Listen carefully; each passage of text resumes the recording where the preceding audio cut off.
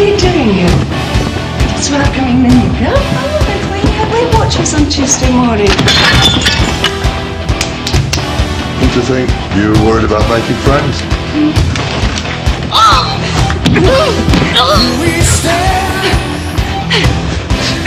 with our hearts broken in two. There just seems to be so much more community spirit here.